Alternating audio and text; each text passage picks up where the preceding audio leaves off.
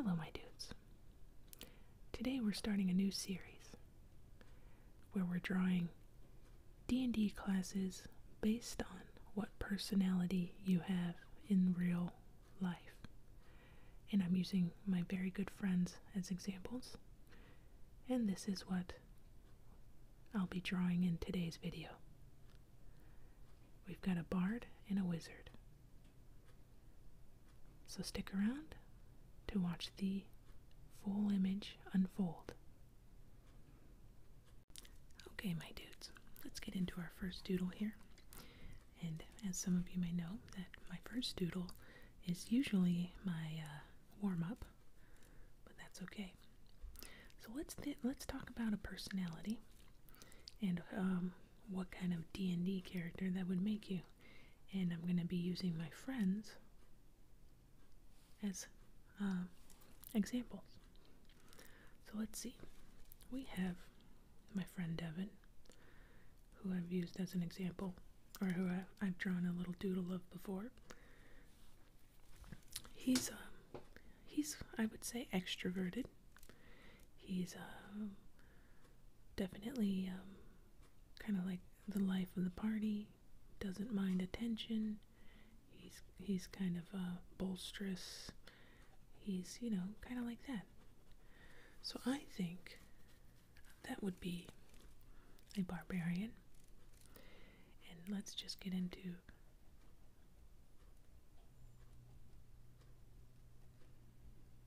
that. But actually, I think he's more of a bard. What do you think? You let me know down in the comments. He he's kind of charismatic. He likes to perform. He likes being in the eye of the viewers. He's he's he doesn't mind it. He's not shy. So yeah, actually, I think he's more of a bard. So let's try and draw my friend Devin as a bard. And he's, this is his personality. Extrovert. Not shy. And that lands him bard.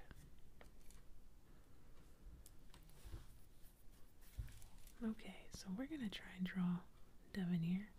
He doesn't really have this hair anymore, but this is always how I imagine Devin, so he's just to have to get over it. And then everyone in this doodle's to have a headband, because all my heroes have headbands. There we go. Something like that. Maybe we'll just do a full mouth. There. Okay, there we are. And so, the bard, perform. They like being center stage. They don't mind when all, all eyes are on them. They just kind of go with the flow. And so we're going to do the same thing here. Just kind of make them a little showy. Just like that. We're, we're just going a little quick. And then we'll just kind of come down at the neck here. Then figure out what he's going to be wearing. So why don't we give him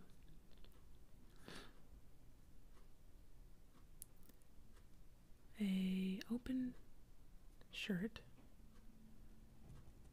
There we go, just like this. Maybe hints of it throughout his hair. Maybe a little bit peeking out over here. And it's tied in a knot here. Coming down there. Something like that. And all of my heroes have have headbands. So the bard, as I was saying, is going to have a nice flowy shirt.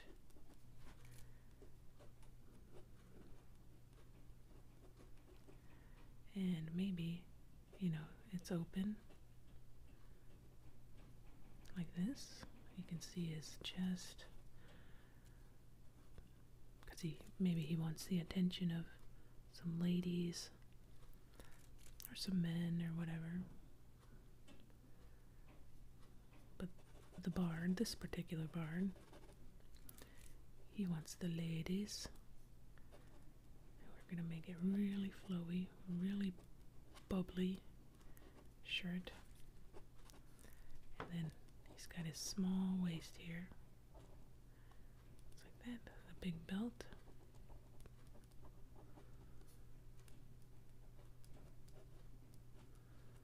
And he's got his sleeves rolled up. Just like this. Shirt comes down over here.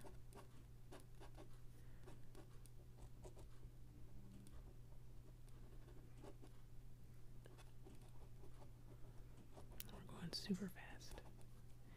maybe he's got a big strap going right across his chest. Because he needs to keep his instrument in place. We'll just color that in just to separate it from the rest of the body. Just like that. And so we did sideways lines, and now we're going to go long ways lines just to really enforce.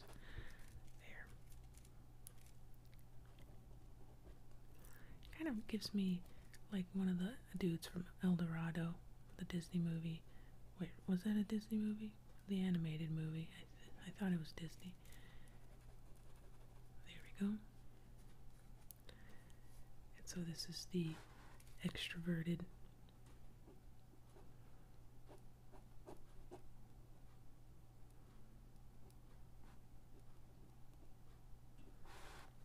Go, and I'm I'm actually gonna do it. I'm gonna draw his hands.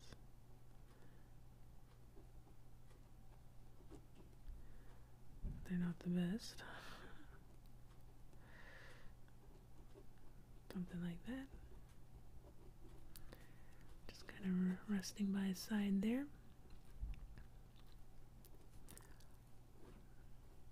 Maybe, yeah, kind of like tighter pants.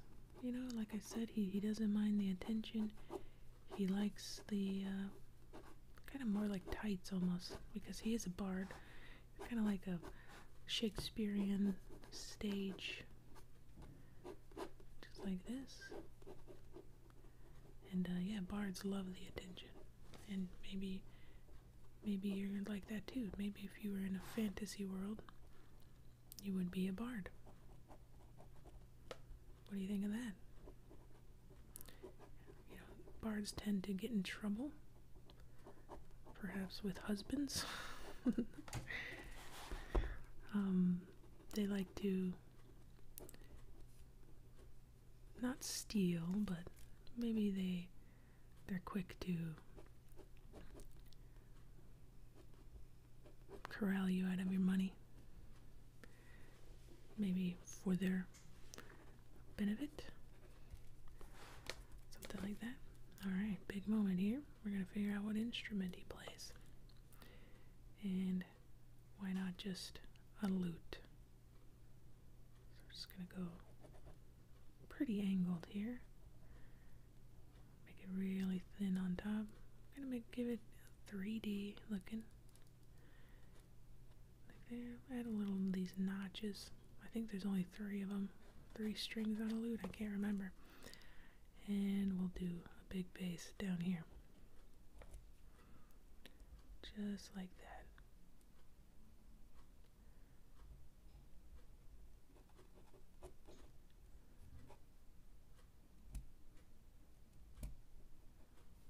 There. And there's Devin the Bard.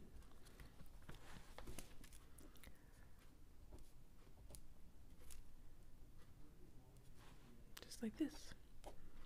So, yeah, bards are extroverts, they're not shy, they like attention on them. Um, and that's our first personality. There we go. Okay, and then when let's get into the next doodle. I'm thinking this is going to be for people that are very passionate about things and they really like um, their hobbies and they really enjoy their uh, uh, hmm, what's the word I'm trying to think of? Their passions. they're very much into their hobbies, and uh, you know they're they're ever curious about it, and they want to get better uh, and learn more about it. Uh, and I would say that would make you a wizard. You know, ever thirsty for knowledge, always wanting to learn more, always wanting to get better. Very much, very much into um, expanding their brains and in a certain subject or hobby or something and though that would that would certainly make me think of my two friends Daniel and Joe. I didn't draw draw Joe in my last video. And so these these are going to be the wizards. Wizard. Very passionate. Almost to the borderline crazy. With their with their hobbies. Devoted to their crafts. And constantly wanting to master it so we're just gonna get started here we're gonna we're gonna start with Daniel so I think what I'm gonna do here the scale is not correct because they're standing next to my friend Devin, and Devin isn't as tall as he would be in compared to this illustration, but we're just gonna go like this.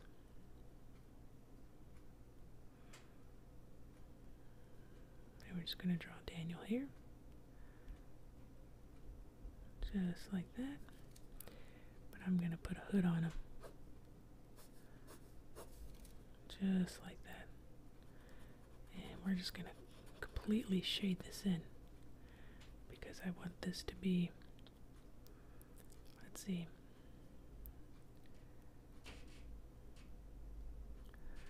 something like that. Maybe just a, he's always got these cute little baby cheeks, I've always thought.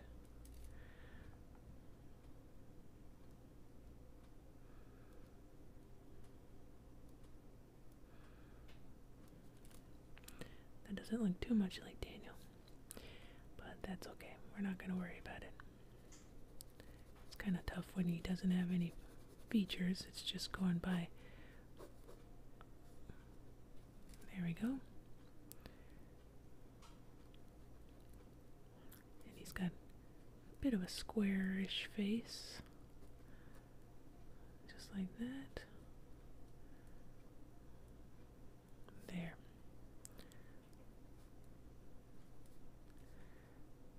There. So wizards, you know, I, I would I would say they're kind of mysterious. Definitely private in a way. They're not, you know, sharing their entire life with everybody all the time. Um, which is fitting, I think, for my friend Daniel. And we've got, you know, we're gonna come down here with a like a hood. I always imagine a hooded, robed um, wizard when I think of wizards. Just gonna hide his neck in there in the dark. There we go. And uh, you know, this adds kind of like an air of mystery to it. But not always the case, you know. Some wizards aren't aren't always like this. There we go. We're gonna have to hide his other glasses. You know, you can't really see the glasses through the cloth. Okay. Then we'll just come down here and get into his shoulder here. And maybe his sleeves are rolled up as well, kind of like our friend Devin over there. His arms are out. And he's uh, maybe holding a book. Holding a book that he's really passionate about. Very much probably the uh, D&D player's manual or something. Both of these guys would be holding that once we get to Joe. There we go. Like this. And like that. And, gee. Okay, I'm sorry. I had some loud neighbors going by the door and I didn't want to want you guys to hear that. So here we go. We've got Daniel here holding his treasured book like a true wizard. And he's very passionate about D&D. Both of these guys are to the same to the I would say almost an uh, insane, unimaginable, unimaginable level of um, passion. There we go. So we've got Daniel here. Daniel. And it's kind of it's kind of different for Joe over here. We're gonna we're gonna draw Joe. Um, we'll, we'll finish Daniel just a little bit here. We're gonna try draw his.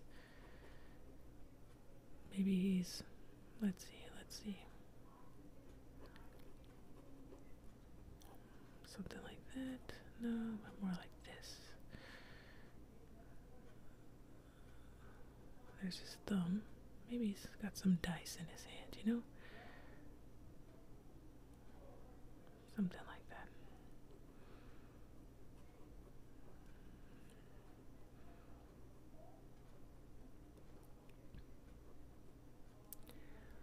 There we go, something like that. That that's not a very good hand, but we're not gonna beat ourselves up over it. We're just doing some art, some quick art today. And then we're gonna draw Joe right behind the hand here. It's I I always love these two because they always seem to be kind of com competing with the who's who's got the best campaigns and who's got the best imagination. And, um, but Joe, I think Joe's a little crazier. I think he. Let's see here. We're gonna we're gonna draw this. I think he's a little more malicious. He likes to see his players suffer, and uh, he's almost like borderline warlock.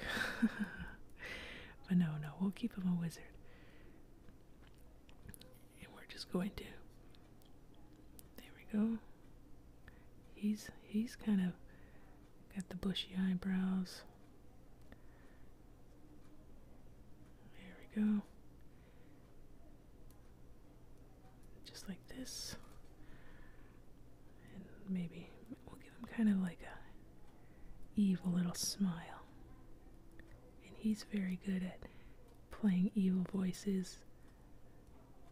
There we go. We're going to add some facial hair here. And then I'm going to cover, let's see, the rest of his face in a hood as well.